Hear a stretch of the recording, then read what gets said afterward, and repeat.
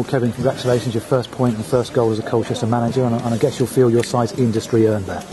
I think you hit the nail on the head, yeah. I, I was disappointed with his first half. It's the first time uh, in the three games that I've been in charge that I, I come in at half time and I was disappointed, so decided to make a little bit of a change. Owen came on. Um, certainly, the industry, as you put it, second half was good, but also there was two or three really good moments of football. On, on a day where perhaps football was, was hard to play because of different reasons, the pitch, maybe a little bit of pressure as well. So I'm really pleased for the team. I think, you know, probably a draw, maybe right, about right. I need to review it, but having hit the crossbar and had a couple of little efforts at the end, you know, you're thinking, maybe, maybe.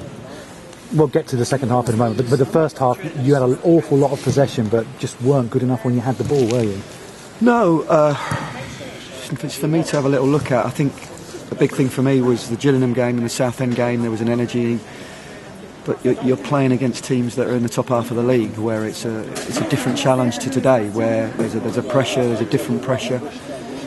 Um, they obviously started with a, with a, goal which we're really disappointed with, which for them is a, is a fantastic goal, but for us it's something that we need to look at and make sure never happens again whilst I'm in charge. So disappointed first half, yeah. With with the possession we had, we didn't hardly create a chance. A um, couple of long shots, whereas second half there was a little bit more quality and, and we created chances and, and, we're certainly the better team I think second half. Their goal, they will say brilliant training ground routine. I guess you will say fell asleep, will you? Yeah, I just I just yeah, said that, yeah. um, and you've you've reset it. Um, exactly right. It's not good enough from us. They will say great goal, and you know give them credit for that. It's clever, um, but not good enough for us. And then when you once you go one behind, with the run we're on, it's difficult. It's difficult. But I thought the lads admirable in the way they performed in the second half.